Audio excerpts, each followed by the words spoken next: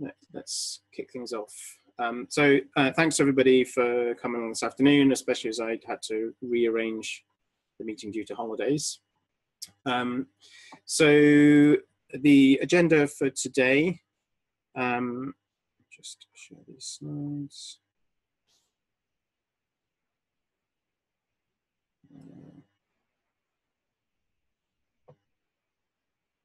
Okay, so hopefully you can see those. So agenda for today is a quick progress update on uh, what we've been doing since the last community group call. Um, and then I wanted to focus on one area of the spec that's being changed for um, the 2.0 release, which is um, adding some specific subtypes of event to capture a bit, add a bit more nuance about how um, publishers can provide a bit of context around some of the information they're publishing. So we'll get into that in a moment. Um, and then any, any other business that people want to raise uh, before the end of the call. Um, so in terms of uh, progress, um, we've got a, a number of uh, activities going on in parallel at the moment. Um, revisions to both the data model spec, the booking, uh, the draft booking spec, and some of our developer tools uh, and documentation. So where are we with all that? Um, we had a good discussion around the booking spec. Um, the, it was the last call, um, which flags uh, a few issues with the current draft, just um, largely with um, how the JSON LD responses were structured. Um, it wasn't ideal the way that we had some of the URL discovery in place. Um, and we hadn't added um, support for communicating terms of service as, as, as, well as privacy policy. So we've taken that on board, um, reviewed it in the team, and we have some change. We've got some um, changes to publish. They're not quite ready yet. I, I, had hoped to have them ready for today, so we could have just quickly summarized them. But um, with holidays uh, and other commitments, we haven't quite got the draft ready for publication. So I'm hoping that will go out in the next couple of days, um, and that'll keep us on track for getting the mainly on track for getting the 1.0 release done. Um, alongside of doing the changes to the draft spec, um, Chris, who's leading that piece of work, has also been working on a reference implementation, and he's found that useful to highlight a few error conditions that also needed to be uh, flagged a bit more clearly in the spec as well.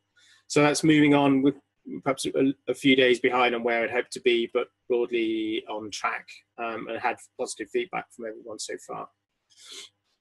Um, we've also been, um, uh, as I mentioned in the last few calls, working on a data validator, um, which is, you can see a version of that at validator.openactive.io. Um, the work on that is largely done. We have a validator that covers the, uh, the data model, um, or at least the draft 2.0 data model to be clear, and also a validator that uh, provides feedback on implementation of the RPDE feed spec. So those are largely done pending either any other feedback on user interface from the community um, or final changes to the 2.0 specification. Um, so some of the things I'm going to talk about in a minute, the, the, the, new types of event aren't yet in the validator, but I'm hoping those will go in uh, fairly shortly.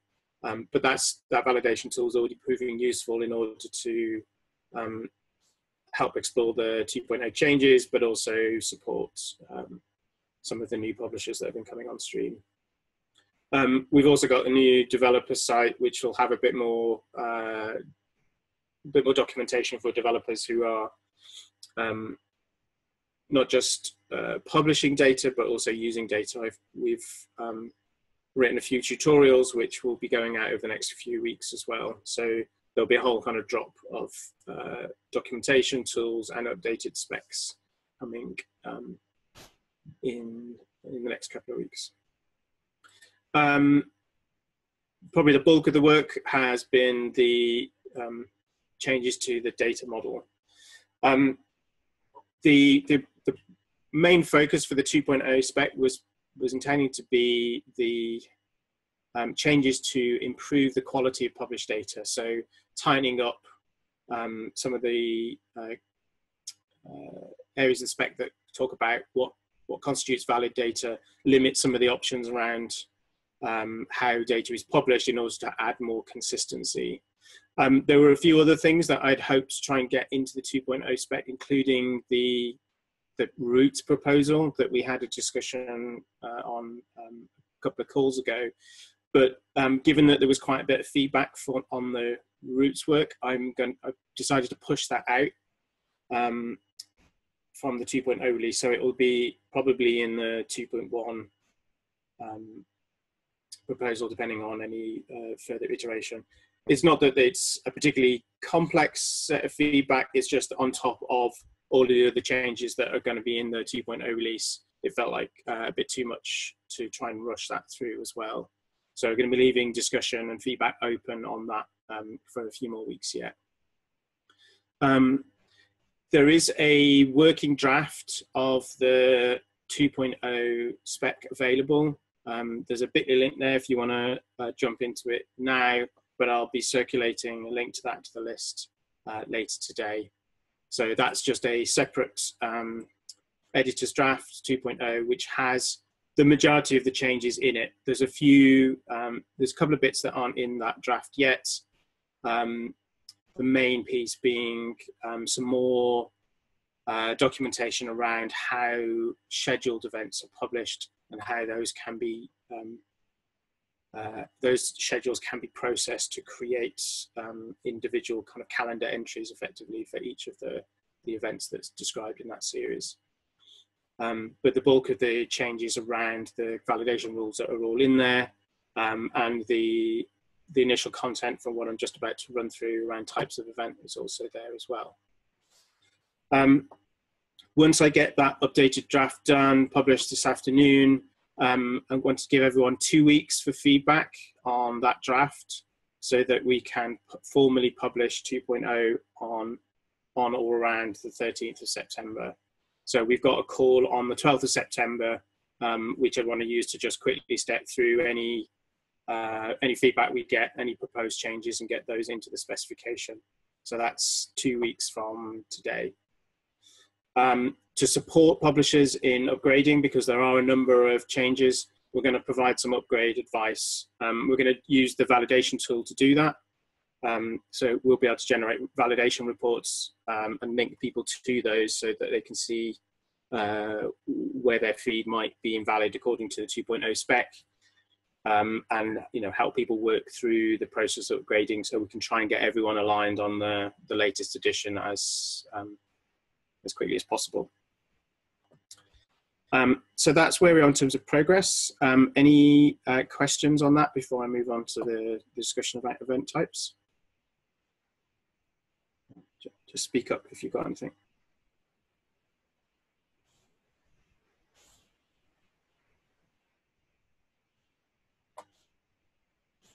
I'm going to take that as a no, but feel free to jump in at, at any point. Okay, um, so one of the main um, proposals, um, proposed changes in, in 2.0 outside of the validation rules was add, it's been to add some um, new types of event. So in 1.0, 1.1, we've been um, only using the um, schema.org uh, event type. I'll just bring up the definition here whilst I'm talking. Um, so this, we're just using their existing definition of an event. Um, it, it's uh, very broadly defined, covers all different types of events. So full, uh, you know, whole day events, multi-day events, you know, short uh, gym sessions, uh, really anything, anything that takes place at a time, a specific time at a specific location. Um, over the over the the course of the last, I guess, year or so, if longer, when people have been publishing data, um, we've got a bit more insight into the types of event that are useful, um, uh, the types of opportunity that people are publishing data event about uh, as part of Open Active. Um, so based on that, we want to add some more detail into the specification to give a bit more guidance around how to publish uh, specific types of um, information. So there are um, broadly three um, three types of event that we've kind of noticed appearing as patterns in the data.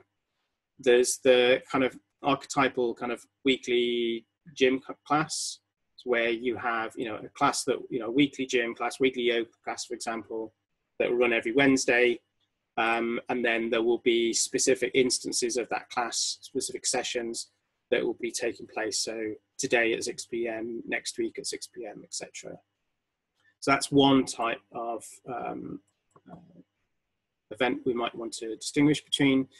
Another type of event is where we have um, big kind of headline events, competitions, mass participation events, where there's like a, like a full day, but that day is broken up into a program of events.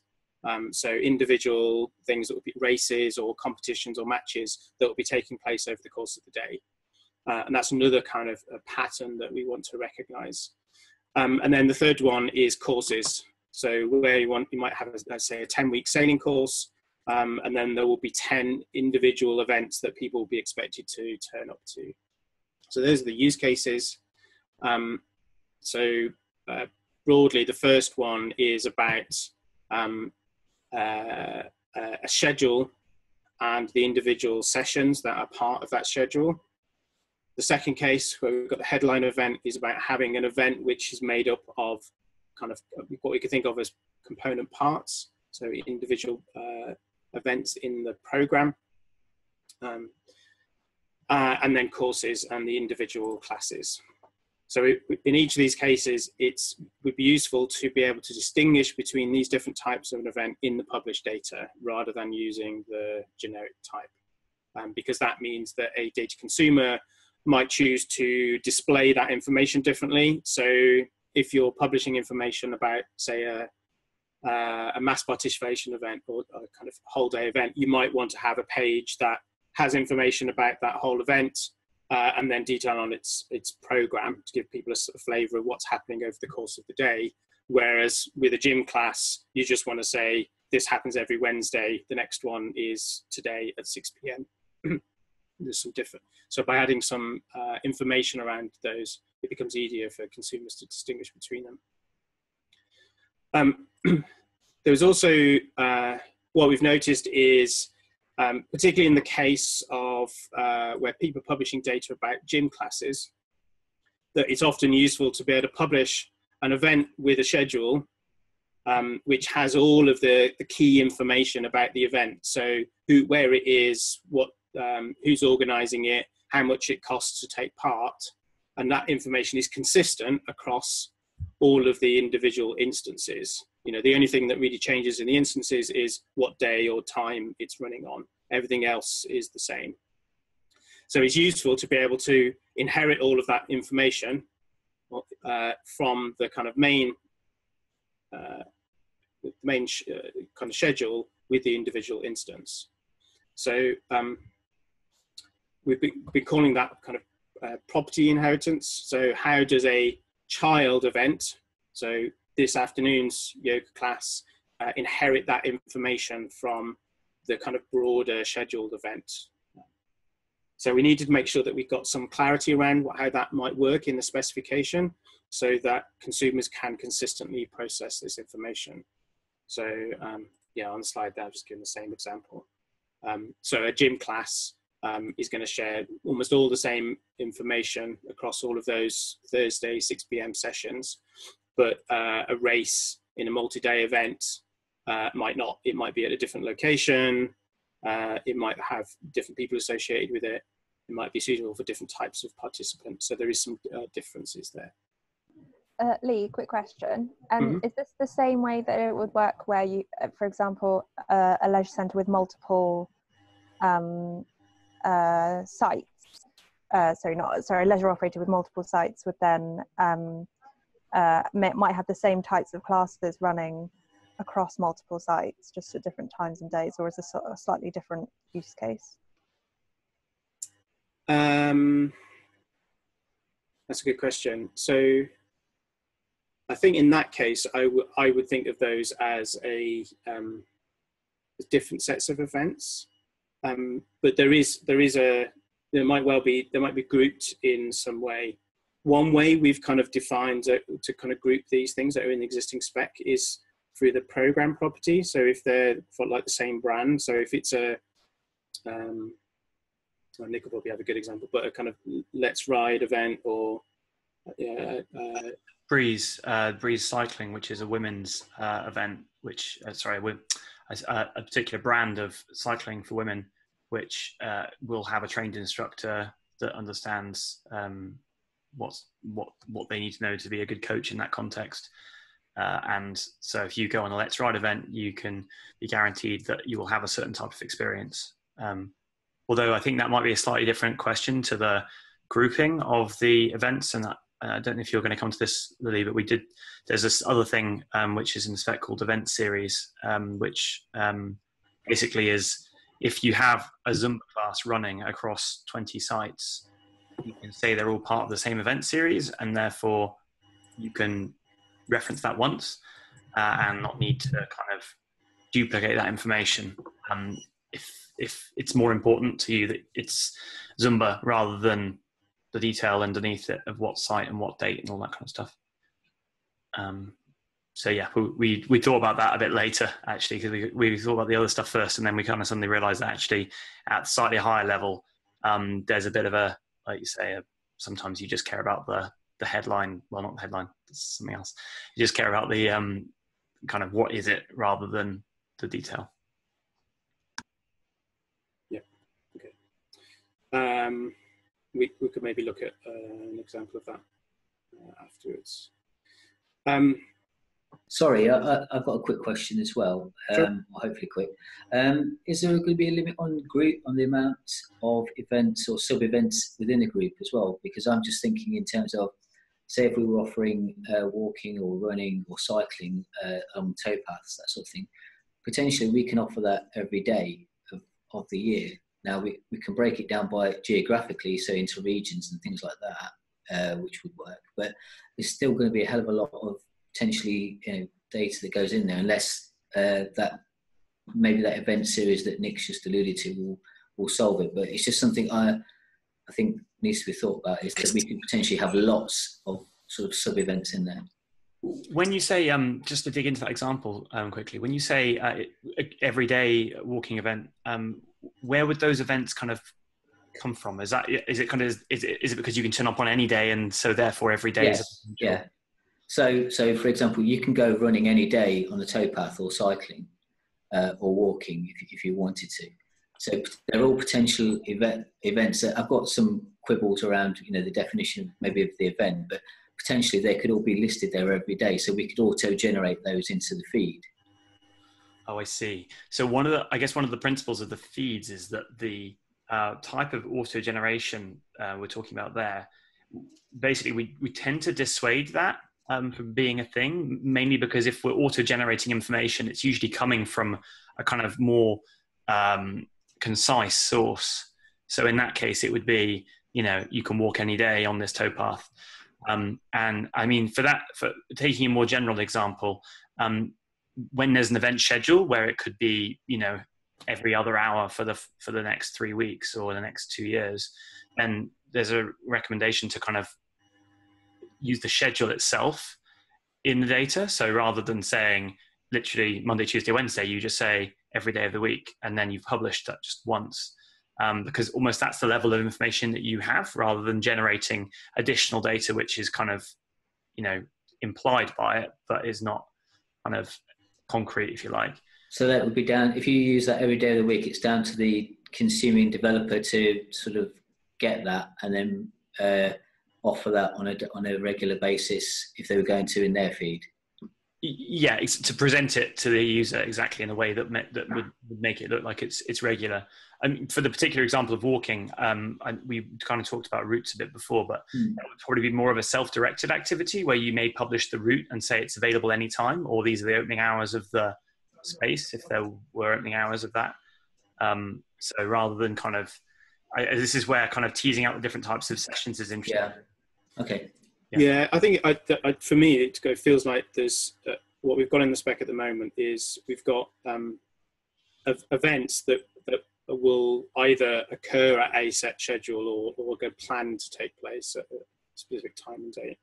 You've got um, we've got facility use, which is basically an, uh, an opportunity to use a facility at specific times. It may be that the facility doesn't actually get used for some of those slots, you know. So there is a kind of an element of kind of on demand there, but there's a specific time and place you can use that facility.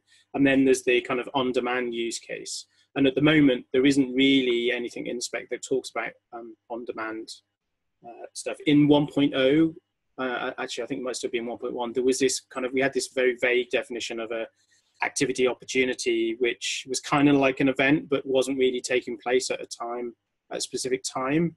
But it wasn't really well defined. And actually all of the examples that that we had that might fit into that use case were things like walking routes biking routes um, running routes. So that's why we've we've kind of morphed that bit into the the routes proposal. And i think that's probably the the first example of a kind of on demand activity. Um, the other example that is kind of floating around in discussion is this idea of virtual events of which there are I think three or four different kind of categories that people have been exploring. So I think we'll, we're going to get more into these kind of on-demand things, but I think they're slightly different to a kind of the event model.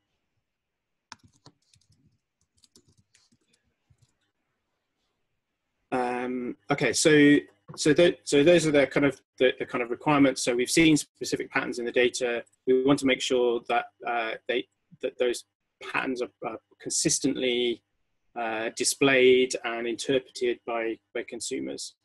So there is a um, uh, uh, some text now in the draft specification, uh, and that there's a spreadsheet I'm just going to walk through in a minute that talks about what those different type, different event types are. Um, so we're going to be basically defining uh, three new types uh, and recommending use of a um, a pending type in schema.org to cover these different use cases. Um, so we're broadly calling these schedule events, headline events, and courses. Um, I'm going to switch to a spreadsheet now, which oh, it's not that one, this one, um, that will hopefully kind of provide uh, some a useful overview of this. Can can you read this okay through the screen share? Yeah. Okay. So I'm going to step through these kind of five examples just to kind of show where the where the new event types kind of come in. So we've got um, you know the very simplest uh, case is uh, a single one-off event. You know, it's just uh, somebody arranges a fun run uh, or just a one-off activity that goes into a feed.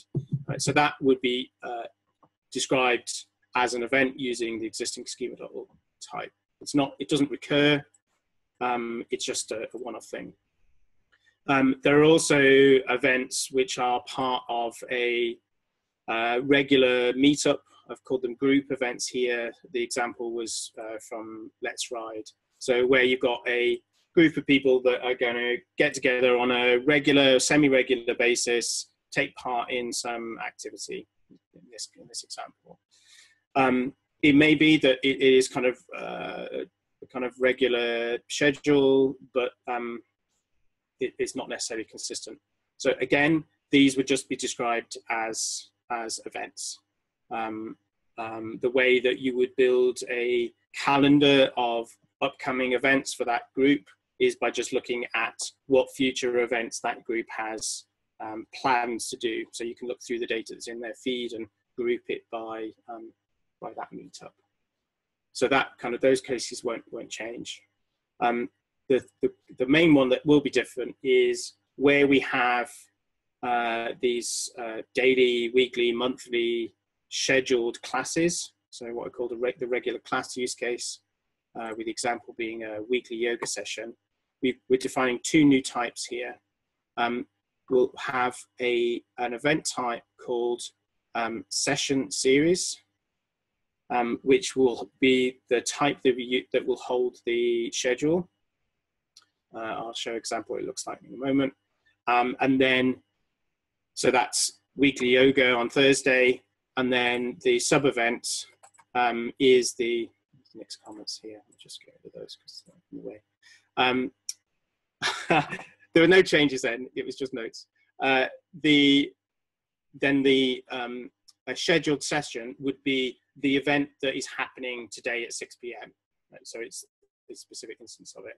Um, so that means that um, a data consumer can distinguish between these two things more reliably. They're distinct from the normal event type, and we can distinguish between the schedule and the, the instance of it.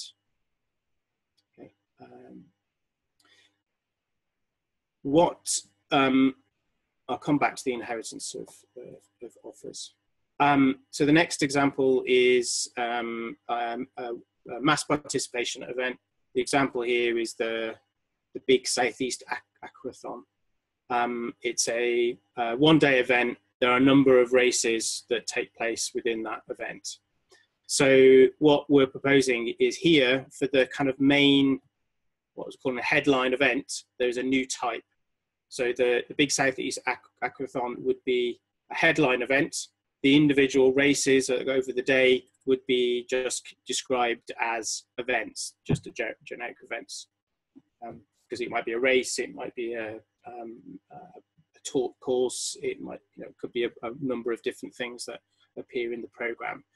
And the reason why we're kind of defining the type for the the kind of uh, the headline event is because that's where it would be the useful differentiator for a consumer so that they can see that actually this thing is a, is a, is a is made up of smaller events uh, which are part of a, a program. Um, so you probably want to bundle those together when displaying them. Um, and then the last example is a, a course uh, where you have a, uh, a schedule of events that you've signed up to um, a, number of classes, you know, you're expected that um, you'll uh, attend all of those classes to complete the course. So schema.org ha already has um, a pending type uh, called course instance. So that's the course that might be running uh, in the autumn, for example. Um, the individual classes will just describe those as events um, as before. So again, similar to a headline event, it's just a useful way to say this this is something. This is a grouping of uh, of events, grouping of things that you uh, uh, will participate in. Uh, does that make sense so far? Yeah. Okay.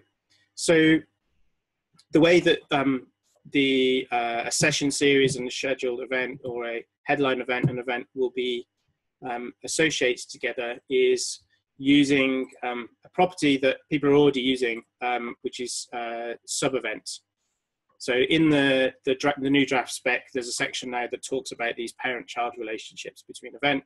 So a headline event, in this example, will have a sub-event of, um, in this case, different, uh, different races in the aquathon. Um, so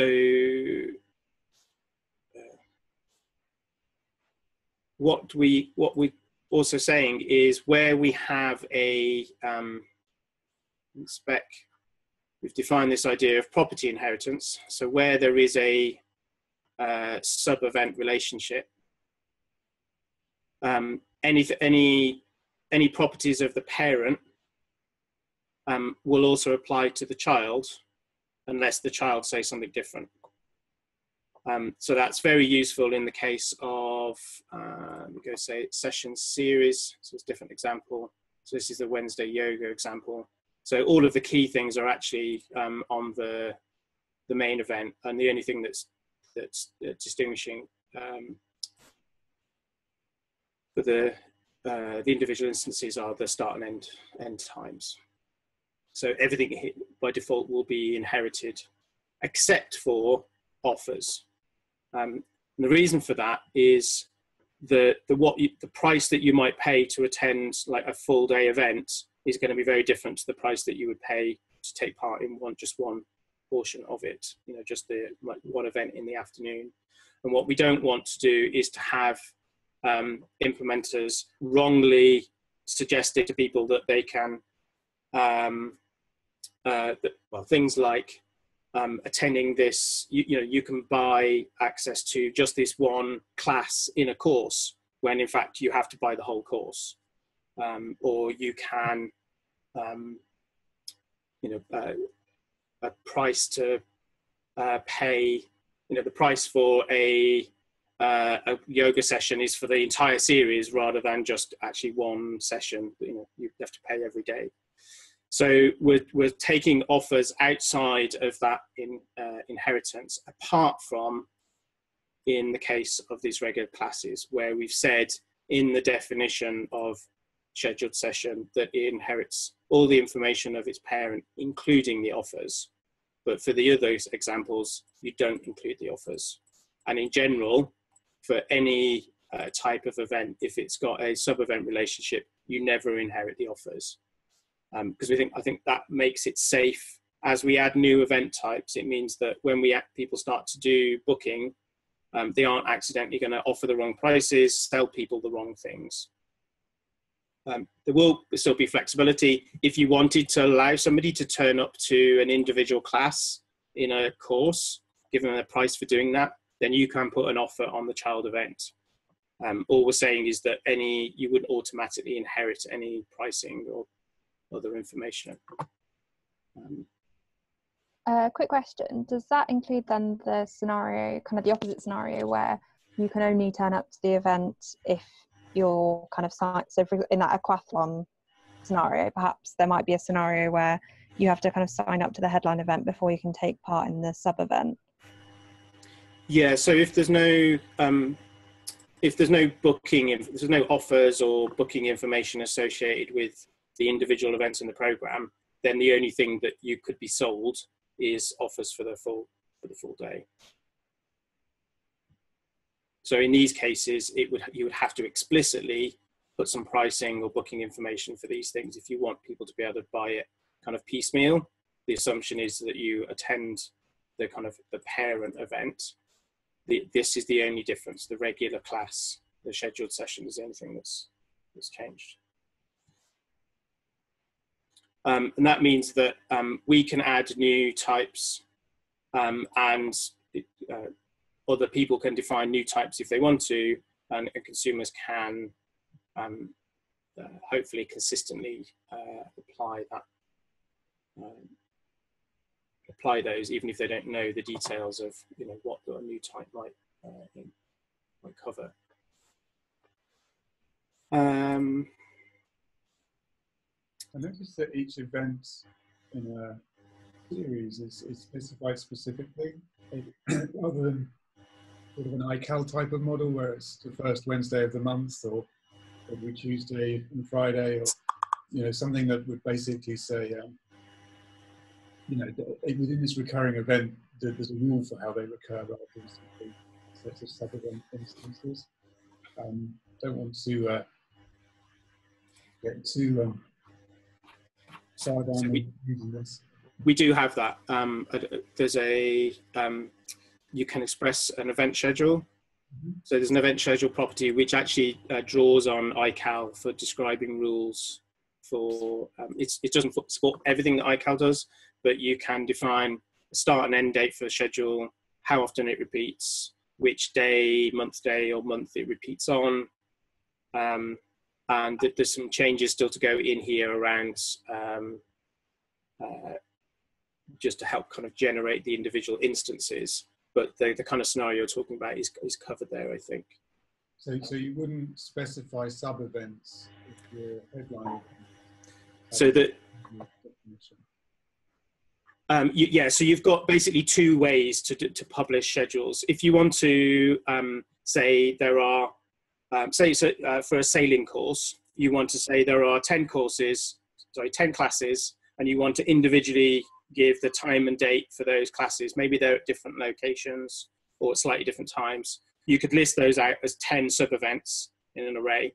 If they're always going to happen at the same time, same place, same location, you can express that more succinctly by um, providing an event schedule. Um, and if you want to, you could provide both. You know, it's but it's just that we've got that schedule as a way to kind of basically exchange the rule for when people will turn up. That's good. the, the sub event is also useful um, if, for example, you have to um, cancel an individual event in the series, or maybe the time gets rearranged, then you can publish a sub event that adds a status to one of those things in the in the series to say this is now cancelled or it's full or um, it's going to be at a slightly different time. So that some of that wording is the thing that I still need to put into the spec this afternoon. Okay. that's good. Thank you. Okay. Um, any other questions or feedback on that?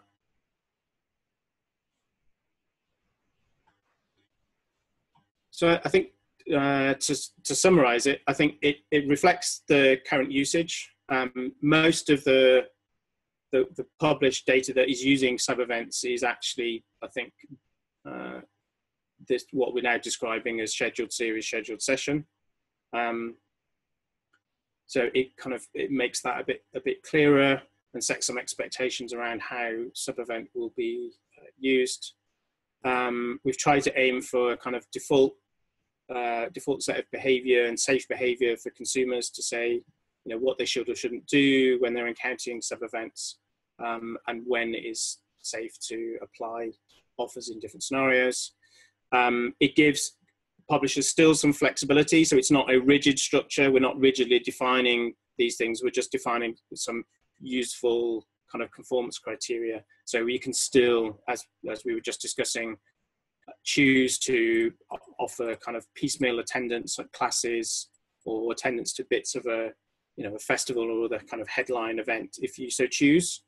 So we don't we've chosen not to kind of start to you know define what a class is or define parts of a program. We're just defining types for the meaningful things that we can see in the data at the moment. Um, we may find that there's more of those that we want to add over time. Um, but we think that this kind of gives us a model to extend. So um, people can start to define their own types if they choose using the extension mechanisms in the in the spec, um, uh, or we can start to codify um, uh, some of the useful patterns. Um, the main one I could see coming is the the virtual events, um, but uh, that because as i said earlier there's, there's probably like three or four different scenarios that people are describing with virtual events um, which are actually actually quite different use cases. You know there are events where you just turn up in the gym and something is being broadcast to you. There are events where um, you take part just by leaving your house and you're part of a virtual event that might be running all around the country. You know everyone goes for a run on the same day um, or you know, and there's some other example uh, variants of those as well. Um, so you know, things where you know you you take part in a virtual event, but it you know at the same time as everyone else, or everyone goes and participates at a location, but at different times. You know, there's a bit of uh, some work to to to do there before we kind of uh, can make some uh, clearer recommendations around that. Um, but I think this gives us a kind of model to build on. Um, sorry, somebody going to say something? Um, go on, Nick. I was going to just prompt about the event series thing, but you might have, you might be about to say that. So. I, am yeah, I'm coming coming back to that. Um, the other thing that we've done is the apart from course instance, the the new types we've defined them rather than putting them into schema.org. Um, and the reason for doing that is um, it gives us control over the definition of some of these conformance rules. Um, there's quite a lot of debate and discussion in schema.org around adding different types of events uh, at the moment, and they don't seem to have got to a broad consensus. So we wanted to have some clarity for our own purposes. So we're just going to go ahead and define what's useful for us. Um, but as, as I say, the caveat there is course instance. This seems ready made for what we want to, to use it for. Um, but the the main issue, well, I think the only issue with it at the moment is that it's pending. So they could decide to throw it out, or they could decide to change the definition, which gives us a little risk. Um, and I've added a note to that in the draft to say it could change. Um, the same is true for uh, what Nick mentioned earlier, which is this uh, event series. So the other thing that they've been considering doing is um, provide, providing ways to group together events uh, to say these are all part of a kind of common series, um, but there's probably nothing really common about them other than you know they're, they're part of that name series. So the example that they lead with here is the Olympic Games. So that's an event series, and then the individual event, like the 2012 London Olympics, uh, is an event in that series. Um, confusingly, it could also be as considered as a series of events in its own right as well. Um, but, so um, I haven't got wording in the. We've Nick and I have discussed this quite a bit. I haven't got wording in the spec around this at the moment, um, other than to say it's available and you could choose to use it. Um, that would bit where I would like to get some feedback on whether people think that this would be useful now, or whether we should just signpost to say this is available, um, and let's wait and see how people use it before we provide a bit of uh, discussion. Could could you bring up the issue with the screenshot of um, GoSweat? Should have got them on the call really, because Ken might have a thought on that. That might be uh, a way of illustrating what we're talking about. Yeah. Okay. You mean the main one? No, no, no. Sorry, the issue on um, our, our, own board. Um, that's right. I should have seen your link. Modeling spec. Uh, it's in the issue about this subject. uh, that one, yeah. Specific types of event. The bottom of the uh, issue. Yeah, so this is this is something that has literally only just happened today, so that's why we're kind of we haven't. Um, so um, what so what this is trying to solve, and this is like a fresh proposal, it's only like hours old, um, is uh, this issue in the data, which I don't know how many of you guys have kind of looked at, for example, the Get Active London Activity Finder or other activity finders using the OpenActive data. Um, but they have this curious problem where there currently isn't a way to sensibly group things that are basically the same. Um, and when I say the same, you can see here that Swim for Adults is clearly the same picture, description, title, everything about it's the same. The thing that's changed, that, changes between these three examples is the location and the time. And the way it's currently listed within OpenActive is it ends up with lots of this going on. So you end up with like a big directory of repeated stuff, and you have to wade through and look for the um, the relevant things you're you're interested in. Because obviously, if you're browsing as a casual consumer, when you decide you don't care about swim for adults, you keep going going through the list to see what else is there, uh, rather than oh, I'm not sure, maybe I want to go to Wembley.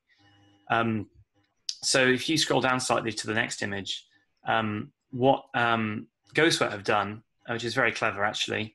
And what I've seen in a few other places um, is they've got this idea of a kind of more broad grouping of the events. So rather than just having those three cards there totally independent, they've grouped them together as one and said, actually, this type of flow yoga, it's the same thing. It just occurs at lots of different places um, and at lots of different times, which is our kind of existing session series that we've just been talking about. Um, and what um, I'm I'm kind of proposing here is, is when when the, we're pushing everyone to, towards version two, if we can simultaneously be pushing them to, to, try and group their events like this, if they have that ability. So I know that, for example, in the Gladstone system, they could do that. Um, that might really help people who are trying to display the data, because at the moment, if GoSweat wanted to display the data in it from OpenActive in line with their current style, they would have to do it based on kind of guessing what the, the same events um, by matching the descriptions or matching the names or uh, other things.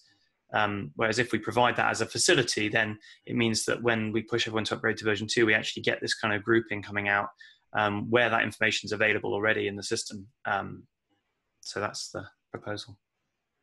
I think it sounds good. I guess my uh, lack of technical knowledge may show through here. But um, I guess it's important that that doesn't stop those things being grouped in a different way. So, for example, um, if you're searching for vinyasa flow or whatever yoga, then great. This kind of shows you the different places you can do that. but you might also be searching by location and you don't want to then if i'm searching by wembley i don't want to see the one coming up in thornton heath which is the other side of london so um, i think it's um, and and again this is just my I, I don't know how this kind of stuff actually works but um, it, it, it's making sure people can group it by um, it, it can be shown to the user in a way that's grouped that makes sense for them by the things that they're searching for. So if they're searching for what's near me in Wembley, great, it shows by Wembley maybe rather than what's near me, um, what can, you know, where can I do yoga, for example. They're kind of two different ways of grouping those kind of events.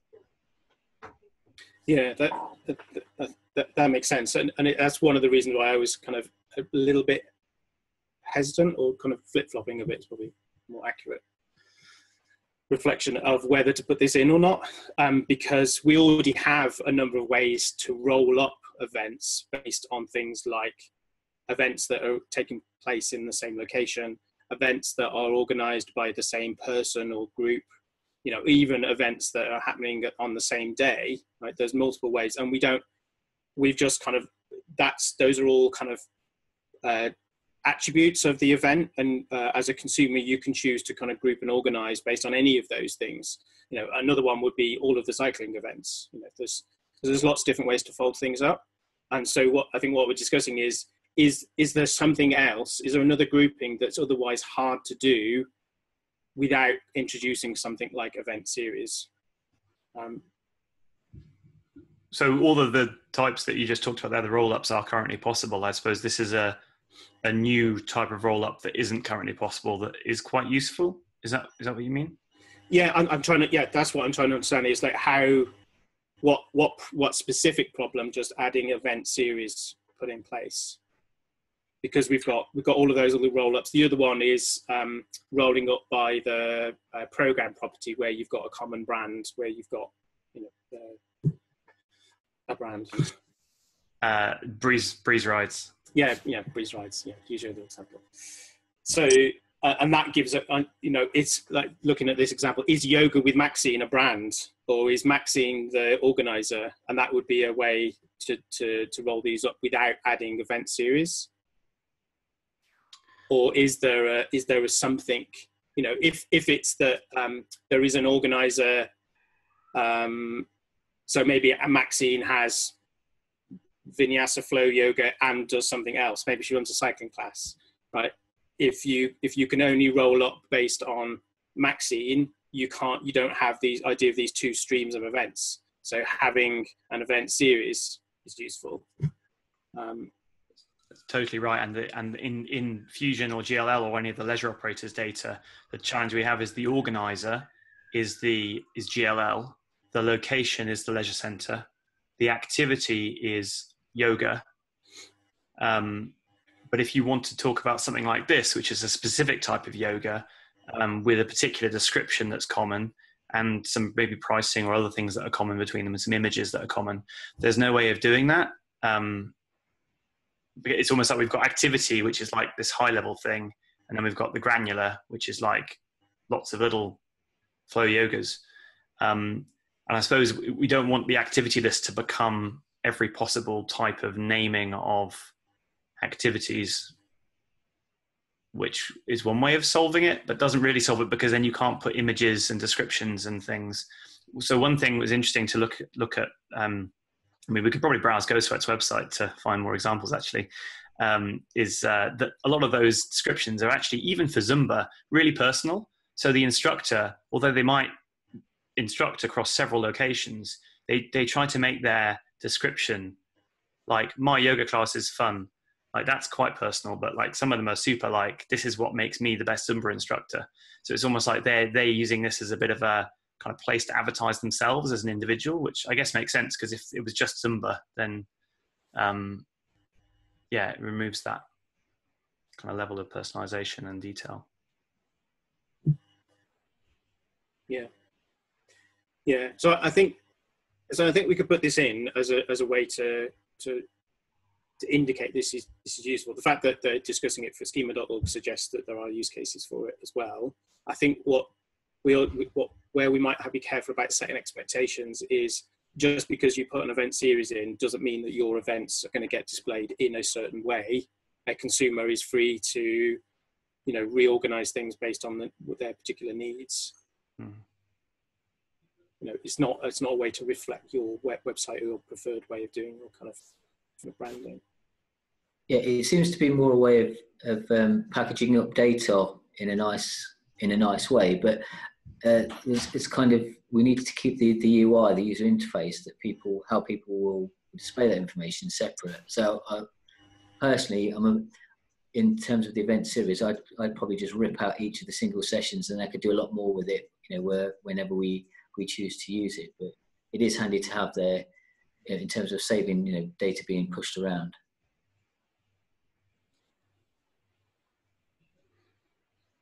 Yeah. Okay.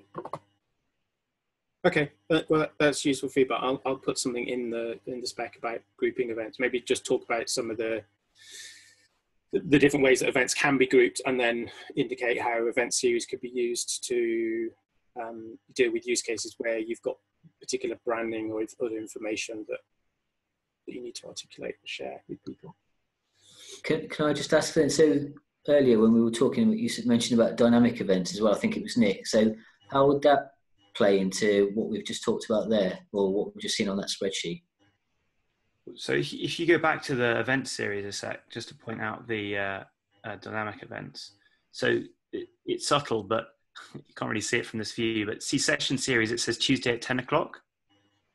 So that's actually a recurring event that occurs every Tuesday at 10. And so that would be a, if we were representing this screen in data, that would be a session series with a, a event schedule the event schedule would say Tuesday at 10 uh, starts this week, ends, ends whatever, whenever it ends.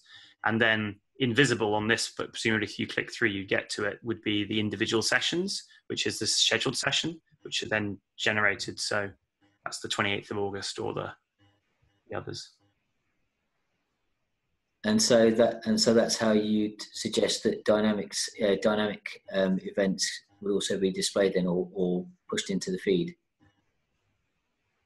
so I mean, obviously, as we were saying, yeah, display is obviously up to, to people to how they want to display it. Generally speaking, if there's a recurrence of an event, it's usually displayed like this because users find it, well, seem to from all the different UXs we've seen, seem to find it easier to understand Tuesday at 10 rather than just a list of Tuesdays. Because obviously, if it's every Tuesday, then that's, that's enough information. but but in terms of how it's displayed in the feed, um, you would in the feed just put event schedule Tuesday 10 within that session series. So you wouldn't necessarily, uh, as Lee said earlier, you wouldn't necessarily list out the scheduled sessions unless one was cancelled or one was in a different location or something was was up. That would be overridden. Um, yeah.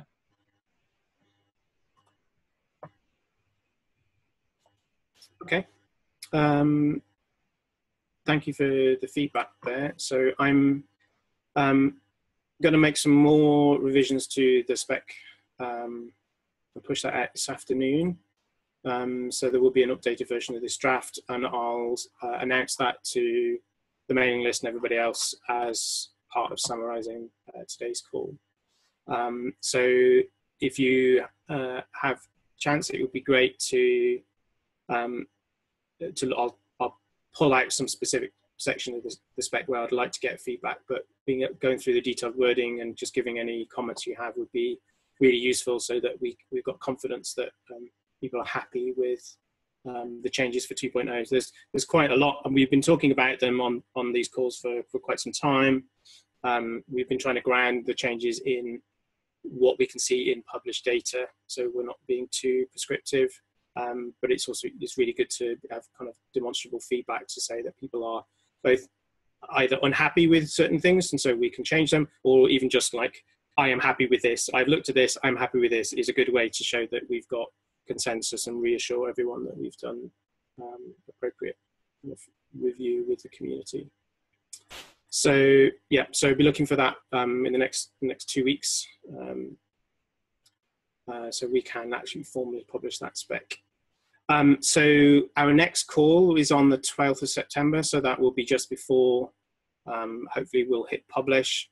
Um, and if it's anything like the, the call we had for the kind of 1.1 release, it will just be rattling through a list of kind of bug reports uh, or minor changes to the to the spec. Um, the the following call on at the end of September, I've got T- TBC. Um, I'm actually going to be out of the country that week, um, so I'm trying to decide whether we should just cancel that call um, or reschedule it, or whether somebody else might come in and do a, a guest chairing session. Um, so uh, we'll, I'll do an announcement about that on the list um, in the next week or so. Jade, if you're watching the video, it'd be great to have an activity list session if you're uh, around. Um, okay, so I think we're, we're, just coming to the end. Has anybody got anything else they wanted to uh, say or raise on the call today? Uh, so to give feedback, you do it by raising an issue against the uh, thing, do you? Against the uh, spec? Yeah, if you're happy, um, so if you're happy uh, finding an issue on GitHub, then just giving just um, giving me, you know, ideally, you know, this bit I don't agree with, or section headings, so I can make changes. If you're not happy about it on GitHub, then drop me an email um, and I'll file the issue for you. But um, that that's the best way because it just gives me a task list to work through and lets other people pitch into the discussion as well. So if you go back to that page a secondly, so it's it's literally for anyone else watching this, um, the new issue button on the right hand side. Um, you just click that. Uh, you don't have to fill all this in. So if you just if you want to just delete all of that and just put, as Lee was describing, just simply the section that's an issue. I don't like it, uh, uh, and yeah, detail, and then you just need to hit the submit button in green after you give it a, a subject heading and go. Um, and to do all of what you've just seen there, you will need to create an account, which is also really easy to do in the top right of the screen. Um, you can click create account, create it under your personal name is the suggestion for GitHub. So just rather than an organizational account, just create your name uh, uh, as the username and then, um, yeah, use that. And then you'll get any emails and notifications through there as well. Right, thanks, Nick. Okay. And so are you going through all those issues there as part of the, the sign off for two? Um, not there's quite a lot of issues in the, in the, backlog. Some of them are proposals and things for future versions of the spec. Um, on the GitHub projects, um, there's a projects tab, um, and there's a project board, which is what I'm working on um, for this release. So there's different um, different columns here. So the, the this one, second from the right in editor's draft, those are all the changes I've got in so far. Um, the changes I need to do this afternoon is put um, summarize this proposal we've been discussing. There's a few other proposals that are under discussion, um, which a couple of these might make it in, but I think, like for example, as I said, routes at the start, um, those will be in a future version of the specification. So I'm using that just to call out things where we've got some active discussion in the community. There's a backlog here. It's currently 24 issues of other things that um, uh, may go into the specification at some point as well. So that's another way just to kind of get a sense of where we're at in terms of next release. It's worth saying that anything you put in issues is kind of there for triage. So if you, when you when you put them in the top of the issues, um, Lee will be able to, whoever will be able to pull them into this this backlog. So really just shoving them into the issues list, um, and then the ones particularly particularly relating to feedback for this will probably just go straight to the front of the queue. I imagine Lee will just push yeah. them through. Yeah. Cool. Okay. Right, I'm going to wind up the call then. So thanks again for everyone for giving up their time and giving some useful feedback. Um, I'll circulate a summary of the call to the mailing list and announce the editor's draft uh, by the end of today. Uh, speak to you all in a couple of weeks. Thanks. Bye. Bye. Thanks, Lee.